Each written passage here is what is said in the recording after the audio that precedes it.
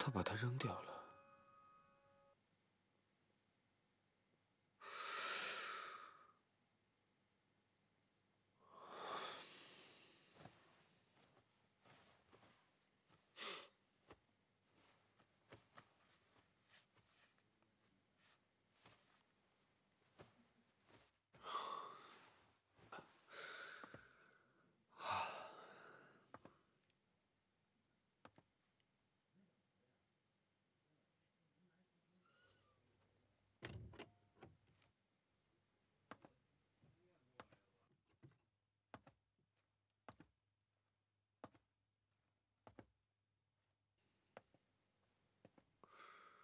别人都说彤彤的眼睛像我，其实这样看来，她的嘴巴跟笑容更像梧桐。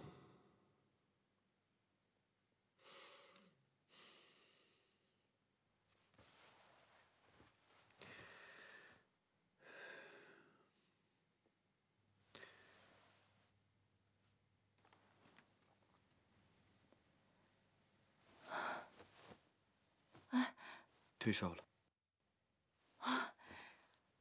真是太好了。走。嗯，走。想要吃什么，我叫人帮你送。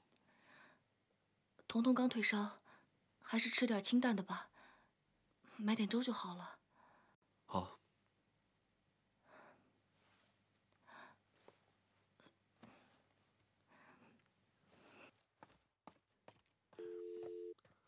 建东。麻烦你现在帮我准备一些比较清淡的早餐。我在梧桐家。哼，是谁说早起的女人最可爱？明明是最可怕嘛！啊，梧桐啊梧桐，你简直丢脸死了！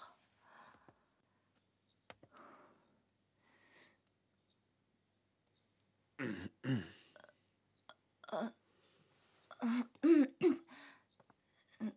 彤彤找你。哦，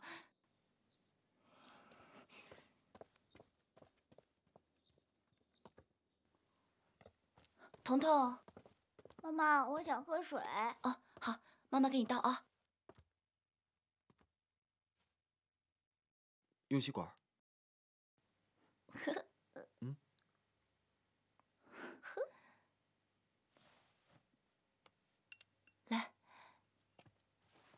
饿不饿？饿。爸爸带你去吃好吃的，好不好？好。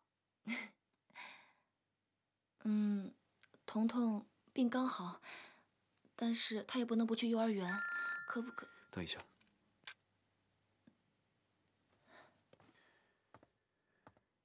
喂。孩子呢？他没事，不用担心。什么时候回来？待会。好吧。不要太惯孩子了，玉不琢不成器。嗯，我知道。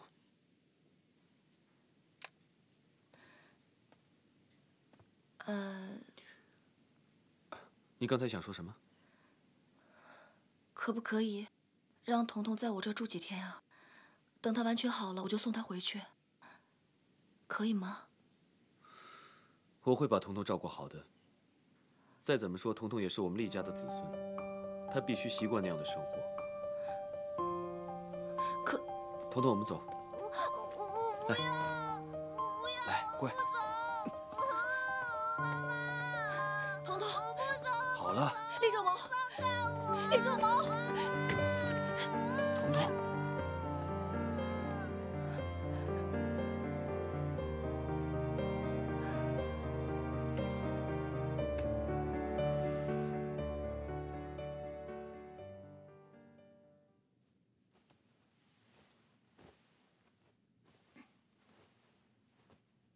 为什么不把彤彤直接送回丽宅，非要我亲自来接吗？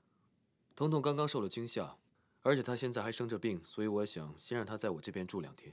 在哪里待着不都是一样待吗？她只是感冒而已，小小年纪就这么娇气，以后怎么得了？她是厉家的子孙，她的未来和一般的孩子不一样，所以必须从小就要学会坚强。彤彤还是个孩子，现在才四岁。他怎么可能明白你说的人生？妈，你的心情我可以理解，但是欲速则不达。他这一次逃跑也是因为他怕你。我一个老太婆有什么好可怕的？我这么做也是为他好。如果我当年不是这么对你，你今天能有这个成就吗？彤彤现在的情绪还不是太稳定，我让他先在我这边适应两天，过两天我一定会把他送回去。两天以后，我让老李来接。还有一件事，我已经让律师以你的名义向法庭申请禁止吴桐的探视权。你找个时间跟律师谈一谈，尽快把这件事情搞定。有这个必要吗？我一定要斩断这个女人的歪心，让她和厉家彻底划清界限。你不是说和那个女人没有感情吗？这么做是一种最好的处理方式，一了百了。做大事者就不应该有儿女情长，当断不断，必有后患。好了，就这么定了。你尽快把这件事情处理好。英姐，哎，我们回家。好的。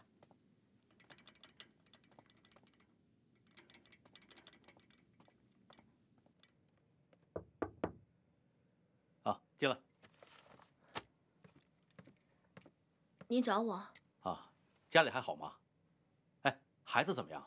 解决了吗？啊，解决了。谢谢经理的关心。啊，那就好，那就好。坐吧，坐吧。我叫你过来呢，是想跟你谈一下下面的工作重点。梁氏的案子可是一堆人盯着眼红啊，你得看紧点，争取尽快把它拿下来。徐经理，这就是我接下来的任务啊。梁氏可是个大客户，如果你能把他拿下，不但公司能挣到一笔大单，你自己也是前途无量啊。可是徐经理，我个人觉得，梁氏好像没有要跟咱们合作的意向啊。他们合不合作并不重要，重要的是你怎么说服他们，让他们和咱们合作。把别人需要的东西卖给别人，那是售货员；而真正好的销售，是要做到把别人不需要的东西，你能说服他，让他们接受。可是徐经理，好了好了，吴桐，我还有些案子要批复，我等你的好消息啊。